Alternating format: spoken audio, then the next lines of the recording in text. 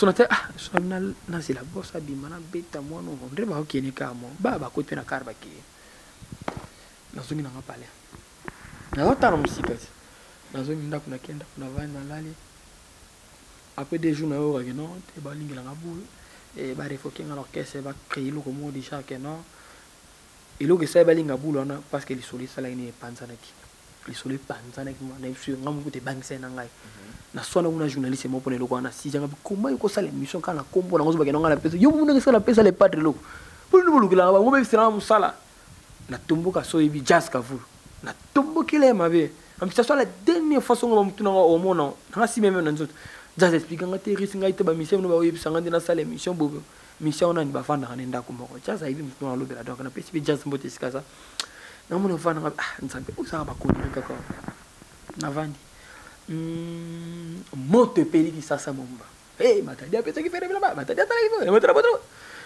petit moko ba créer langa na réunion na net kaka que non mairie elenga comme mairie Richard que non yo sala témoin ndima que non asengaka ba numéro ya ba ba producteur epa na yo na misu na Vasco yo zaka témoin omona ndenge asenga ba numéro po aza kokumba Vasco mabiala na, na car ah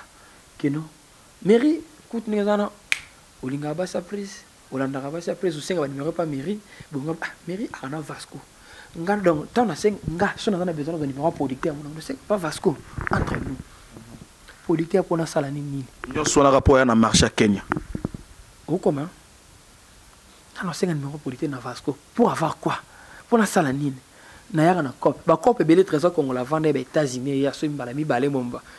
lelo kuta kokamwa so nabeti lisolo ba jean louis yebi jean louis Nga na pesaka numero ya bureau te benga oyo luka vasco asoki coop wana trésor zwa numero benga trésor pesa ye coop wana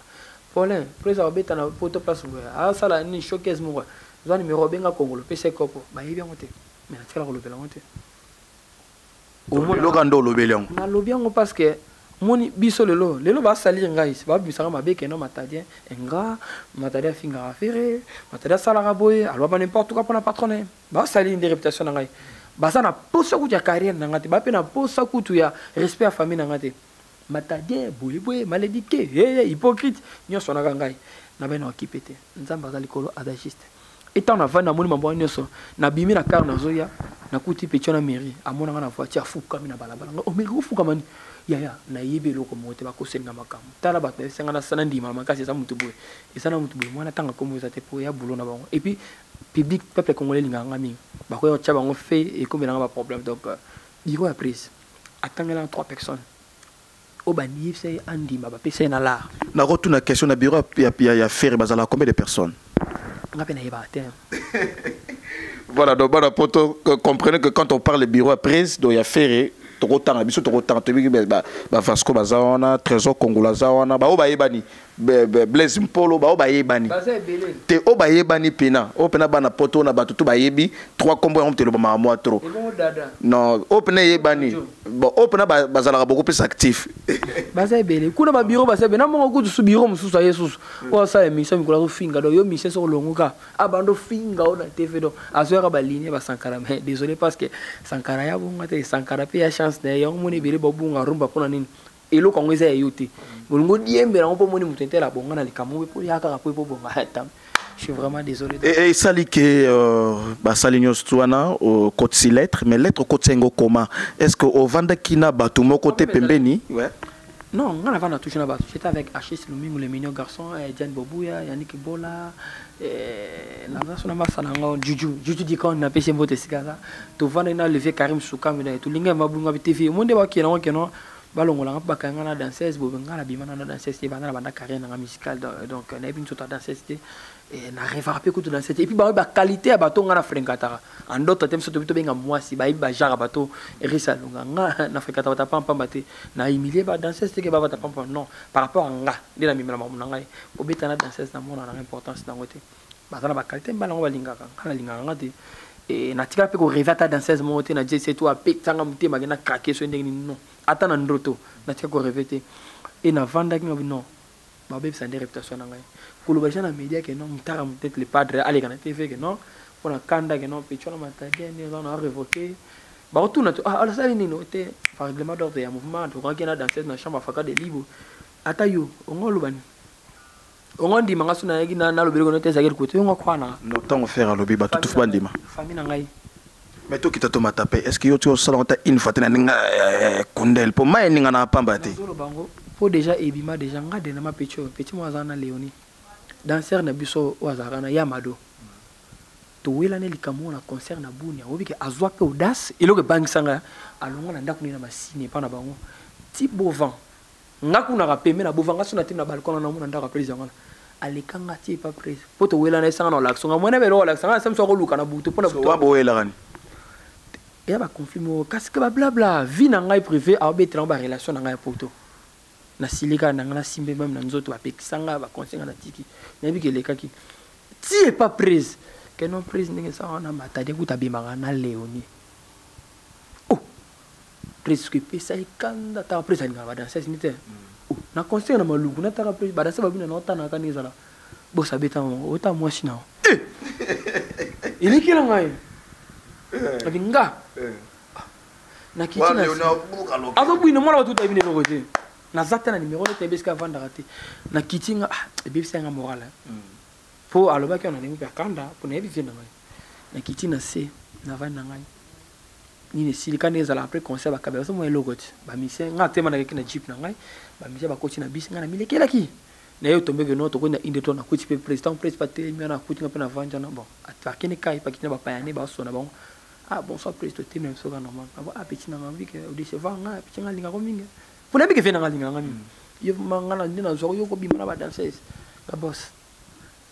Muka tongo le bongo na comprendre na yebi esika makambo ewuti oyo ewuti wapi ye moko akamwa na esika moto alobi yango ya mado ayebisanga eloko moko te kolanda te na comprendre eza lokuta aza calme aza à l'aise sala mosano ndenge osalaka na kolanda nanga makambo wana te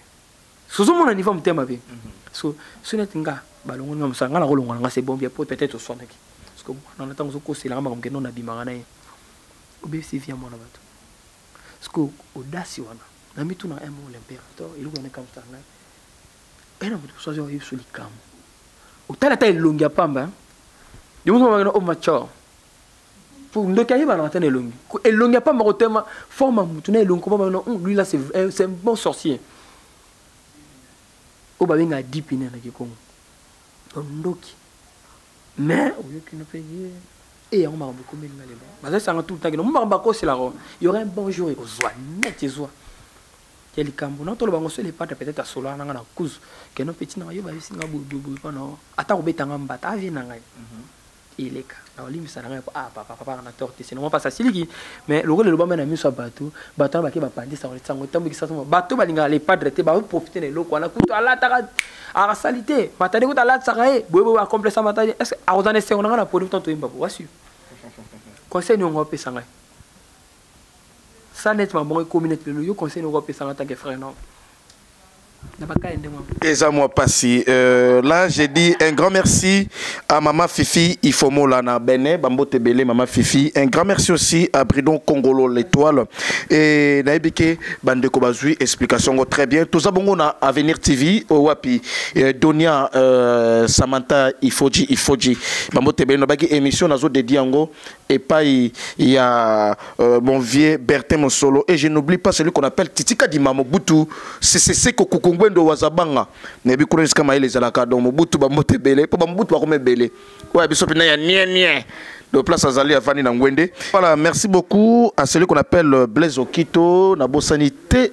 Euh, ma maman moi euh, Pelagine Kembi depuis Bruxelles nayebi ke allo le blé bana eh, bana bana bana mai nanga tout na kati ya France donc lobi tozwa coupe biso na ninga Congo parce que qui pona ezaki composé na ba africain man tu di congolais euh, nzonzi congolais donc faut ba biloko na ya kotoyo nayebi ke euh, na mona kaka jeu vidéo donc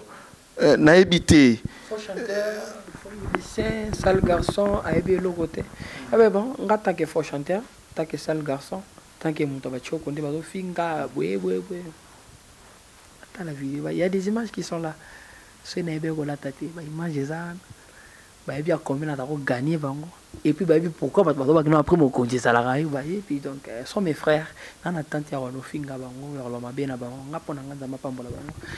je fais toujours mon travail donc euh, toujours à moi le paradoxe eh, botala paradoxe voilà yango esalaki mpena fere mpe alengi na ye mpo keba kotonga ndako yaka mpasi so bakoma obuka yango kota yo oh, fisire esalemi na chambre pardon maso yaka kanga mpo noki te erras akoya kobebisa masolo ya jesete e paradoxe félicitation premièrement félicitation nayebi ke nkundi ya mbote le vice gouverneur atuma tobwana bambote ebele nabosani te l'honorable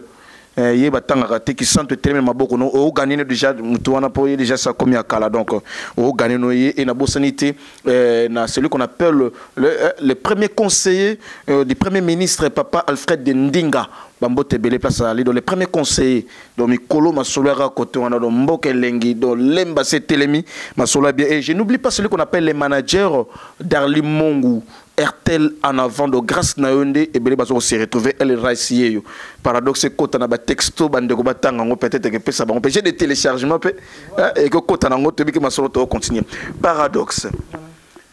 subitement boye tant na ba trace na ba plateforme nyonso tout eh, ta ta ta ta je me souviens otindela ye ngai bafoto ya casting à partir ya dubai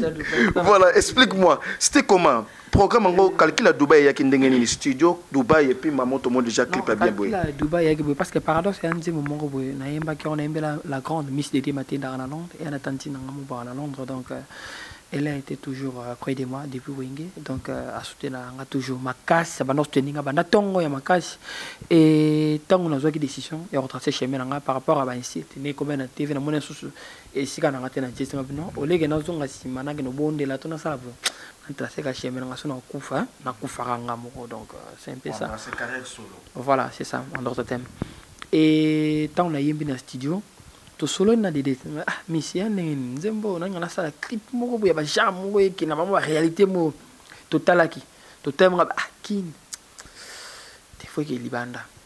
obtention ya kiafrique du sud bato to bakiafrique du sud dubai lokola na bato bacomprena dubai te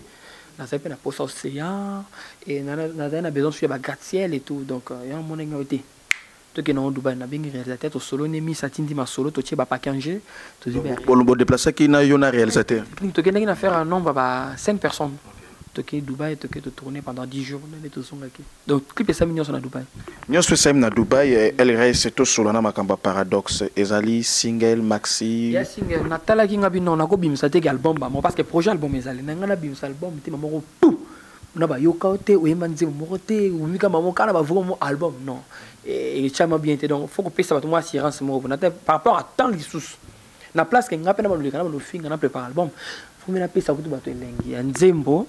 epesa nga temps mwa 2 3 4 mois na travaille mpe album na nga calmement bato bayokaka nano paradoxe yango mona kende nano ngai te na biso na paradoxe nzembo wana osali paradoxe opense même pas lelo parce que banigéria bakoma ata na obima lelo nazwi moninga na ngai wana ase figure na clip mpo vente esalama nazwa ata ndeko atya ata mwa vocal ngai nakosala yango na esprit moko ya bien keno ya yaka tosangana totya bolo comprendre to vie ekoma nini keno atala kutu esimba eza mpo na motu mpo donc vaut mieux nde nalobaki kaka na nzembo wana am el rice de self of a made man en anglais en français c'est l'homme créé par soi-même donc na ngai napesa na makambo ngai naza nango et le reste album mosusu esenga na bete bafiti pourquoi pas donc nasala na ngai yango voilà nayebi ke eh, tozala na besoin tozwa bavocal na yo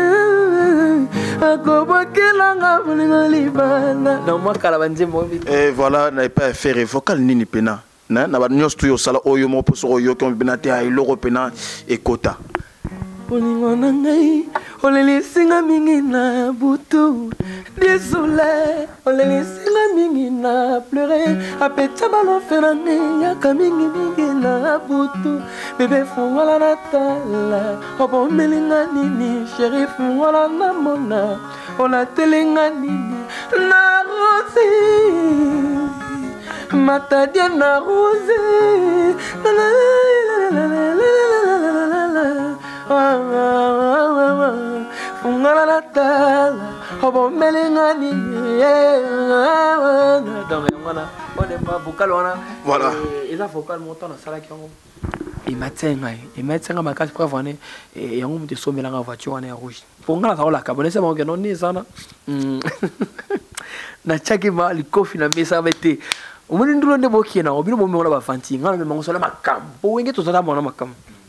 vocal moko car moko vocal moko car moko car moko wana eza peut-être bongo na car ngambo na bino eye car m suta na oteka yango lar wana esali ngambo mosusu papa ka vision na ngai oyo nazalaki nango tu vois donc nakobanda bango ntango nopeye bapalin donc malembe malembe malembe na yebisa bango vocal moko car moko par eh, nini panzi likolo ngo na tala yana car rouge et na yako yemba quatre vocal na album ya moni deux car na niki tangi mbang mbang mercedes na pembe na juki parce que tika laki deux car mususu fallait ya polo humela susu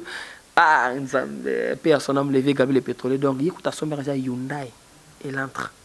na, na Angola Hyundai Elantra ya sika esi efandaki une semaine avant car ekita via daye Gabi le pétrolier donc euh, nalaka bango nga vocal moko car vocal moko car mais ah, bana mai babiki paradoxe ezeyolo nini soki tokozwa yango nano leta bato badegista yango euh, na kati ya émission oyo eza bongo ya bino ndeko eric ladika tatanga na ntaba ensemble avec monsieur l'étoile brino kongolo na avenir tv nayebi ke paradoxe eza wana nayebi ke bokozwa vraiment intégralité nango awa pana yemo artiste mais j'aimerais bien justement avant tokabwana artiste ayebisa biso baplateforme nini oyo bino bokokota boyoka yango botélécharge yango bodeguste yango esima nango boyeba bacommentaire nini bokosala to bamessage nini bokopesa ye eh, tokozwa paradoxe mais yebisanga paradoxe eyani mpo vocal moko car car car gabi le pétrole akufi mpe ya son âme siko paradoxe eyilo nini mpo nono okende europe te schengen nono okende yango te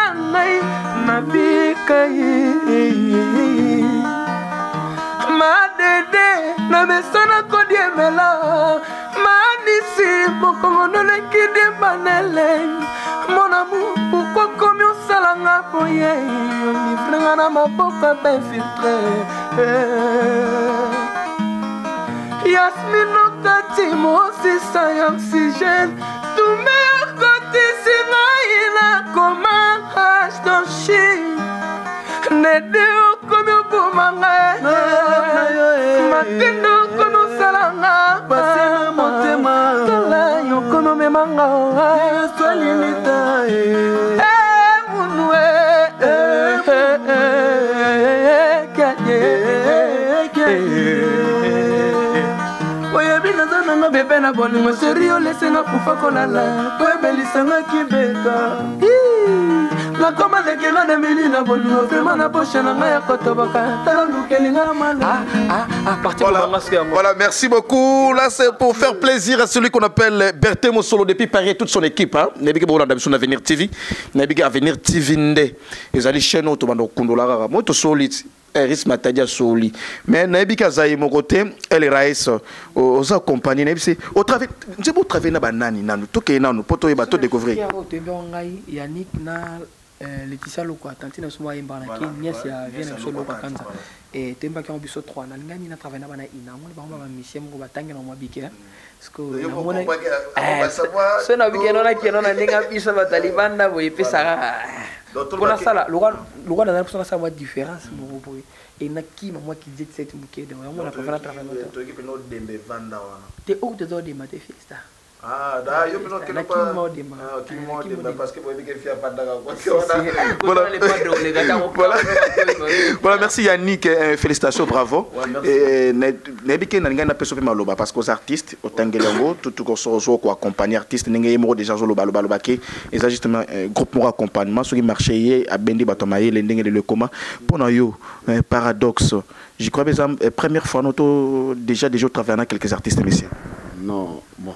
Je suis parolier mais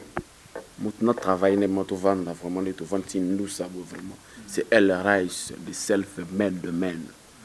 parce que na idéologie na na éducation na ye na humble na ye ndenge azalaka donc euh, yango nde epesi nga mpena courage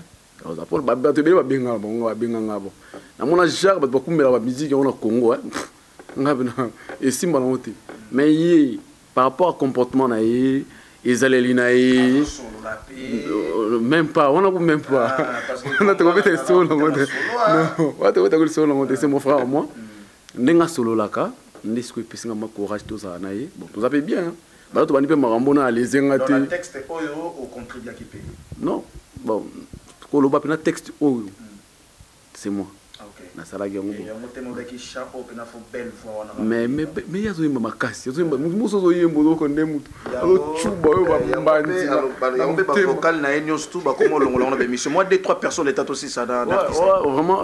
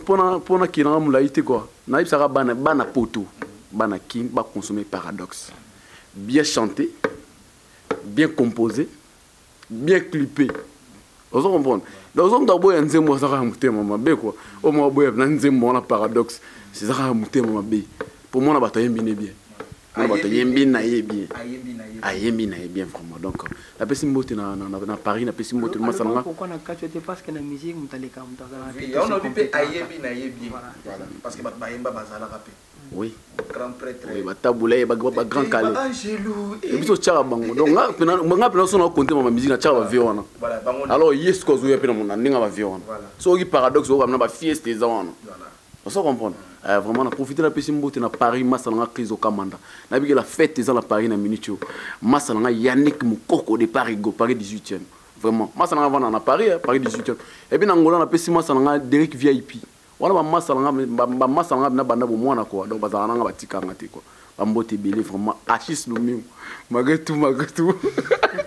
nayebi ke prochainement nayebi ke prochainement bato ya basolo bakoya babangaki ebakisama nango el rais euh, je crois bien mpona lelo eza mpona lelo biso tobi mpona lelo tozosuka awa to faire consommer bato vraiment actualité nde surtout ndenge ofungoli biso porte na motema mpo oexplike parce que na bandeko mosusu peut-être oexplike boye te pour que moi makambo ngai comprendre s'il faut dire na bato wana na caméra ya Bruno Kongolo Messi l'étoile okoloba na bango nini par rapport à paradoxe et expliquer bango comment bakozwa euh, titre oyo paradoxe na ba plateforme oyo poster euh, œuvre oyo si nzembo na bango eza wana paradoxe hein? c'est une très belle chanson oyo nga moko nazala so nazoyoka yango esedizwa ape nga moko donc euh, nayembeli yango la grande miss ede matende soki botelecharge yango bokende te na baplateforme nyonso Pe na osenga bo s'abonner massivement na chaîne na nga na to fongola ya même pas un mois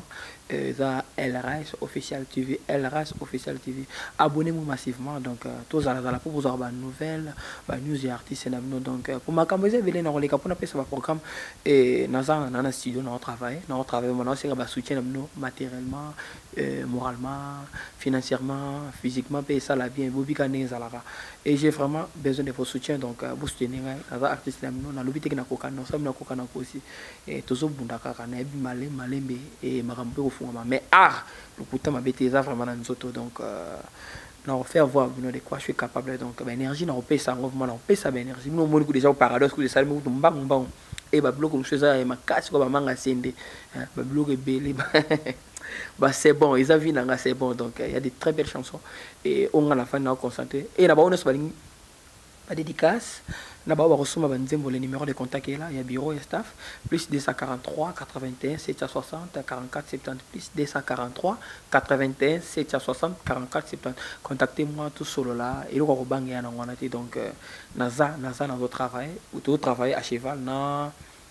studio na promotion donc euh, na kati kutu ba voyage parce que tourner ezalaki fana ke Nairobi Tanzanie Abidjan Zambie et mais na reporter yango mpona zonga nanu na osisa na promotion mpo bato balela etre matadi nzembo ebimi oza na kil te eza normal de tout tout donc yango nazonga ye mbango et je tiens ma remercier bango nyonso basutu yanga bato oyo bagile mayindule maneke de Paris napesi bambote ebele mon vieux oyo batisanga na koma luki luciano et Patrick Toko Farmi les bourgeois et Namoni sous les grands réels, grand caméraman à propre, hein, ya bo ya bel homme ngana benga kaye donc euh, Bruno Congolais je te salue, merci na ba image po ozo benda ozo bamba ngala ba niveau moko donc na écouter et Namoni hein Darly Darly Mungo donc euh, Darly Mungo na RTL yevi kaka kulutu donc euh, naza quoi. nazwa ndeko na yo famille libotaka nde balobaka bana tu ya congo bayebi airtel fox ya airtel nde ezalaka donc darli mungu na olekaka tosolola e je tiens aussi à remercier bana poto tu balingaka ngai vous êtes tellement nombreux ya vincent umberto ya maman jeannette na pesi mbote ebele pole bwanga gaz na gaz cheval rouge moto aluka baproblème eh, bozala mibale boluki na baproblème pole bwanga na leve atuma tubwana son excellence atuma tubwana donc eh, le gouverneur du congo central na pesi mbote ebele vie a dedonela nga voiture na motema moko akokita donc batya yango kota ba voiture de luxe ah merci kulutu donc e na remercie baye nyonso balanda ngai bana congo central bana mbanda ngongo de kasangulu ti mwanda ambassadeur na bino humble serviteur na bino yo donc je suis là toujours et pour faire le travail donc euh, mosala na nga kaka nde biso tolobaka mingi te éducation ya bana ba congo donc inwaka ya kokangama kisalu kaka nde mingi et je tiens à remercier baye nyonso baotala nga na ngola batoka bamikesi bunga hein l'orgueilleux namoni Yannick Mavungu namoni eh, nongi nongi Mobutu nga nabengaka ye donc napesi yango te be et Marc Mapemba les gens Lyon sans oublier les vieux euh, le vieux euh, Chic Mbelani grand frère propre na kati Autriche na bosani te hein le Jeff Picasso na kati Luanda le vieux Jeff Picasso na pesi bango te bele boza tellement bele Dodi Mantoni Eric la tortue na boki una nzembo Eric la tortue donc euh, le boss Eric la tortue